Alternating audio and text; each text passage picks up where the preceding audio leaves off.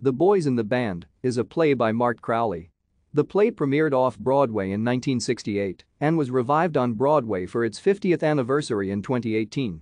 The play revolves around a group of gay men who gather for a birthday party in New York City and was groundbreaking for its portrayal of gay life.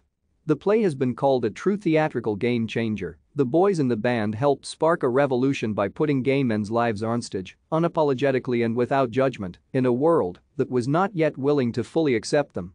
It was adapted into a feature film in 1970, likewise one of the first focusing on the lives of gay men. The play is set in an apartment on the Upper East Side of Manhattan, and the backgrounds of characters are revealed in the course of a birthday party. The party is given by Harold's six closest friends.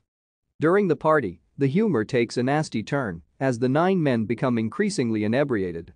The party culminates in a game where each man must call someone who he has loved and tell them about it. Thank you for watching. Like and subscribe if you would like to view more of our videos. Have a nice day.